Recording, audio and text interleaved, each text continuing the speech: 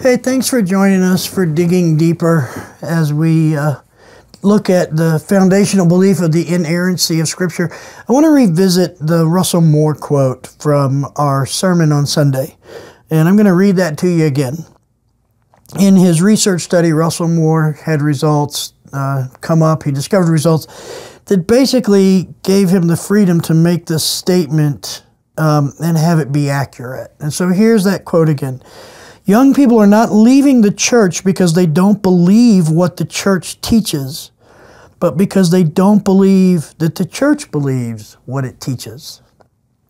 Now, I know oftentimes we think of the idea of belief, the concept of belief, in the terms of evangelism as trying to get someone to believe.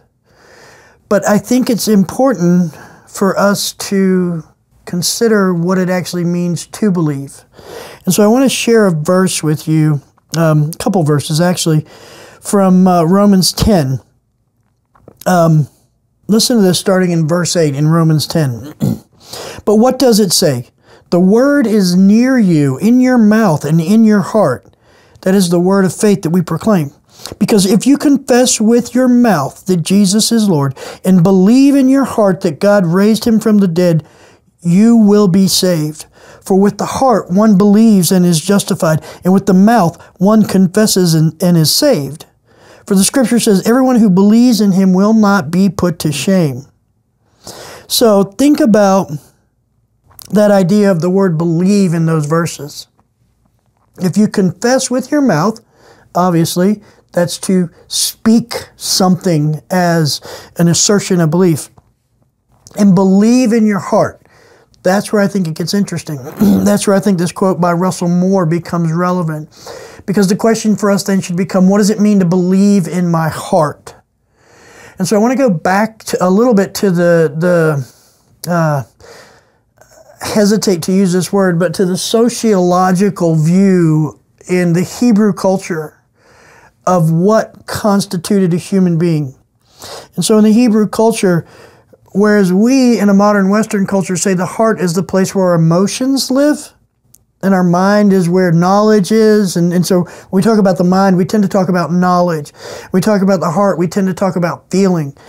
Well, that wasn't necessarily true in a Hebrew culture, a Hebrew culture that, that Jesus grew up in and, and uh, came into, and the Hebrew culture that Paul was raised in, and, and Hebrew philosophy and ideas that he was weaned on as a rabbi, as a teacher. In that culture, the idea of heart conveyed the place where the will lived, where the desire lived, not where the emotions lived. And emotions in that culture were more and similar in the Greek concept of where do emotions abide? Well, that's in the gut, even down to the point where if someone was having emotional issues in a classical Greek or Hebrew culture, they thought it was an issue of bile. They thought there were different colors of bile, and if they got imbalanced, you were you know, histrionic or melancholic or whatever it may be. But the reality is that when Paul says, believe in your heart, He's talking about a belief that resides in my willing and my desire. Now, take that idea, believe in your heart from Romans 10, confess with your mouth. I got to say it out loud. Believe with your heart. I have to will and desire to live as if this is true take those two concepts and hold on to them right here as I read this quote from Russell Moore one more time. Young people are not living are not leaving the church because they don't believe, okay? Believe with the heart, that is they don't want and desire and will what the church teaches. But because they don't believe, okay, with the heart again, they don't believe, they don't have faith in, they don't want and desire and will that the church wants and desires and wills what it teaches. So think about that for a moment. People are looking at the church and saying, in your heart, the place where your will and your desire lives, we don't see what you confess with your mouth becoming a reality through your willing and desiring. Now, going to take one more step into um, a philosophical type of realm, and it's with this. If we truly believe something with our heart, we will it and desire it, then would we not manifest that as a reality? Isn't that how everything that we create and make as human beings in this world comes about, first we desire it, then we make it so. The, the, the desire of the heart, the belief of the heart is the thing that got the Wright brothers to look at a bird and say, We believe we can fly. We desire and will it in our hearts. So let's make it so. It's, it's the things that led to, you know, the, the engineers at Apple sitting down and going, We believe, we desire, we can create a device you can fit in your pocket and can carry all the information available to the, to the free world. And, and you can also make a phone call and you can watch television on it. We believe we can make that. And that's how that came to be. They believed in their hearts. Everything that's ever been created, whether it's a building or, or landscaping or a, a product or a house or a vehicle or a paint color on a wall, all started as a willing and desiring in the heart that became manifest. And so when Paul tells us in Romans 9, if you confess with your mouth and believe in your heart, there's an invitation there to live out what we profess to believe about Jesus. Now let's go back to Romans 10 one more time. Believe what in your heart? Well, if you believe in your heart that God raised him, him being Christ, from the dead. Now think about that for a minute. If my heart is my place of desiring and willing, and I believe in my heart, believe what? Believe that God raised Jesus from the dead, and by that I am saved, then would I not manifest a resurrection type life in this world? If that's what I believe, if that's what I believe in the place where my desire and my will live, shouldn't that show up? And how I live? Are we living as people who would say, well, yes, I must live this way because Christ has risen from the grave and through that I'm saved? Are we living as people who would say, well, of course I would want this thing and do this thing? Of course I'm going to love my neighbor. Of course, I'm going to esteem others as more important than myself. Of course, I'm not going to let any coarse language come out of my mouth. Of course, I'm going to feed the hungry and I'm going to clothe the naked and I'm going to visit, visit those who are sick and imprisoned because I believe Christ was resurrected from the dead by God. And that belief, that trust is my salvation. And so I want us to think in terms of what does it really mean to believe? Because if we have a concept of belief as something that lives in my head, where thoughts are, thoughts are not a component of the human being that can generate action on their own. There also needs to be desire. If I think I want to go to Spain for vacation, but I don't have a willing and a desire in my heart, I'm never going to do that.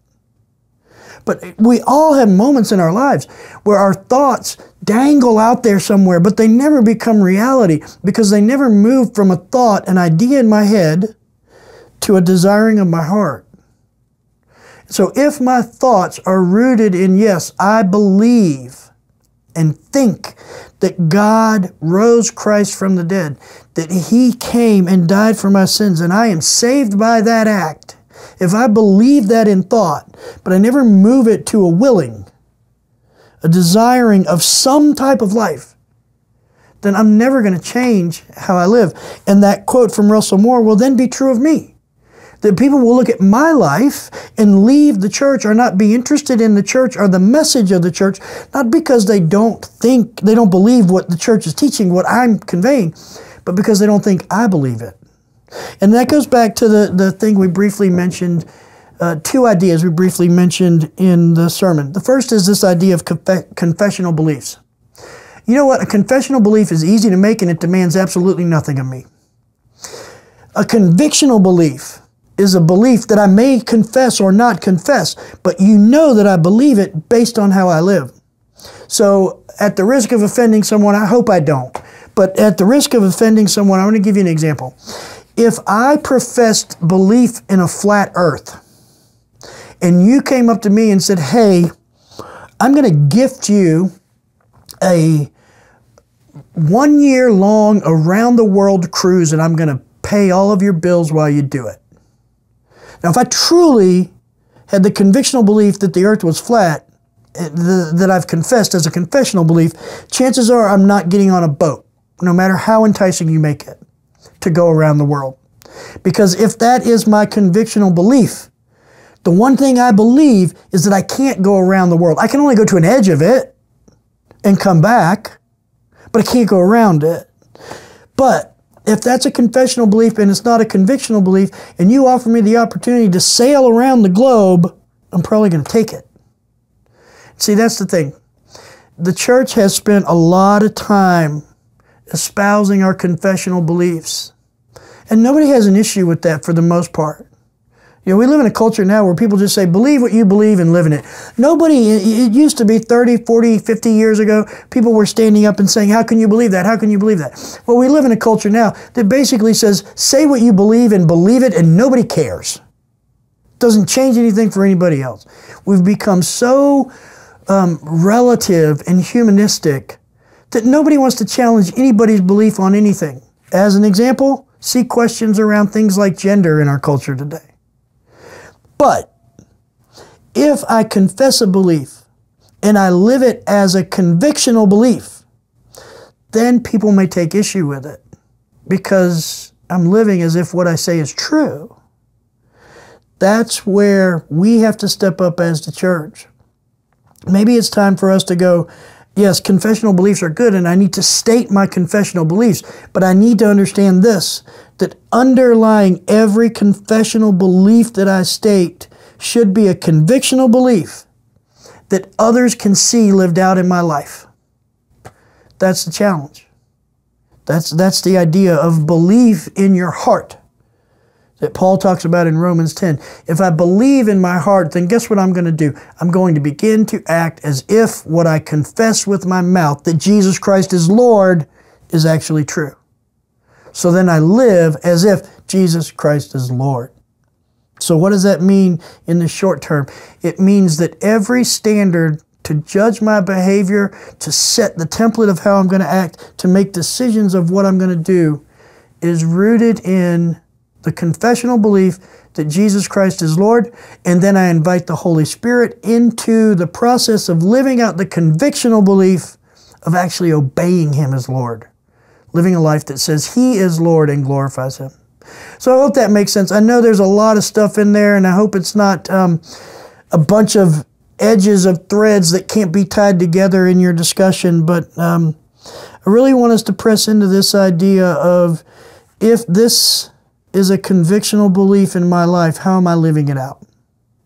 So I just want to leave you with a prayer and invite you to have a great, open, and, and um, community building time in your discussion. And those uh, questions that Pastor James gave us this week are a fantastic place to start.